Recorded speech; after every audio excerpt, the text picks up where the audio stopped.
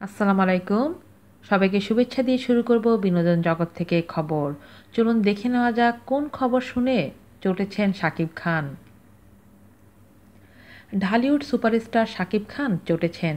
সম্প্রতি এই অভিনেতাকে নিয়ে বেশ কিছু অনলাইন মিডিয়াতে খবর প্রকাশ হয়েছে। ঢাকায় ফিরে নতুন দুটি ছবিতে অভিনয় করবেন শাকিব খান।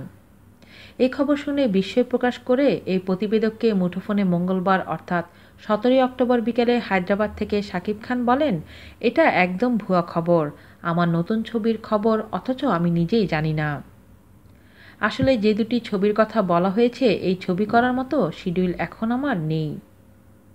তিনি এও বলেন, আমার মন্তব্য ছাড়া খবর প্রকাশ করে অযথাই আমাকে এবং অন্য প্রযোজকদের বিভ্রান্ত করছেন। আজ এ পর্যন্তই। ভালো থাকবেন সবাই। আর আমাদের চ্যানেলটি অবশ্যই অবশ্যই সাবস্ক্রাইব করুন নতুন নতুন নিউজ পেতে। আল্লাহ হাফেজ।